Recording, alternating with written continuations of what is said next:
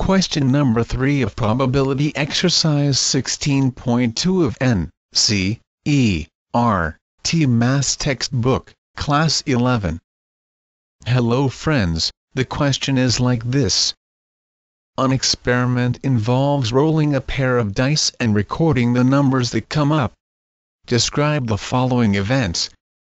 A is the event such that, the sum is greater than 8, B is the event such that, 2 occurs on either die, C is the event such that, the sum is at least 7 and a multiple of 3. Which pairs of these events are mutually exclusive? Now we shall solve this question.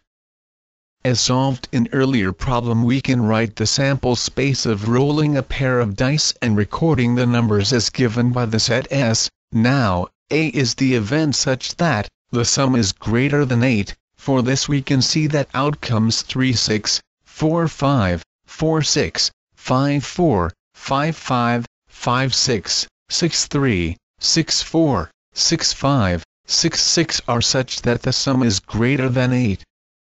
So all these events form the set A as shown. Next we shall take the event B. B is the event such that 2 occurs on either die. For this we can see that outcomes 1 2, 2 1, 2 2, 2 3, 2 4, 2 5, 2 6, 3 2, 4 2, 5 2, 6 2, are such that 2 occurs on either die. So all these events form the set B as shown. Finally we shall take the event C, now C is the event such that, the sum is at least 7 and a multiple of 3. Since the outcome when the sum is at least 7, are the outcomes of getting the total 7, or 8, or 9, up to 12, and the outcomes when the total is a multiple of 3 are the outcomes of getting the total on both dice as 3, or 6, or 9, or 12. Hence the required outcomes that the sum is at least 7 and a multiple of 3, are those outcomes which have the sum equal to 9, or 12. These outcomes are 4 5, 5 4, 3 6, 6 3, 6 6. These events form the set C as shown.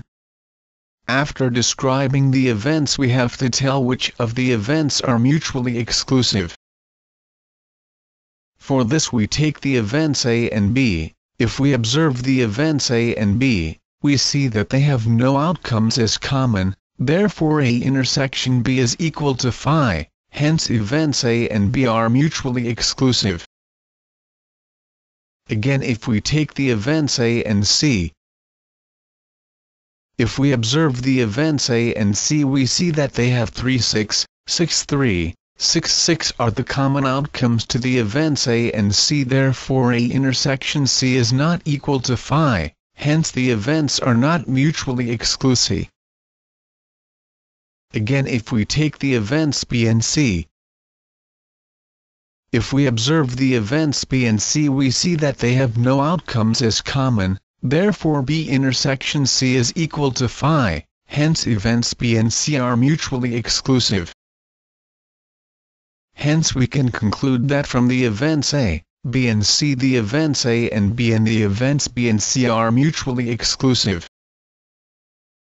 Which is required answer. To watch more of these super videos and for the latest update, subscribe and like the videos on these YouTube channels HSK Shiksha and Maths Help by HSK. Thank you.